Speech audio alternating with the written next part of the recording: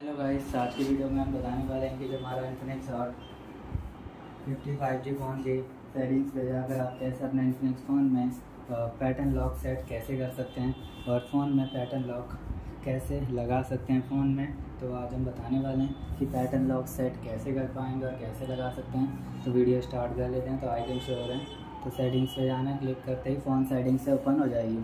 तो फ़ोन में pattern lock आप कैसे लगा सकते हैं तो सिंपली आपको पासवर्ड एंड सिक्योरिटी पे जाना है।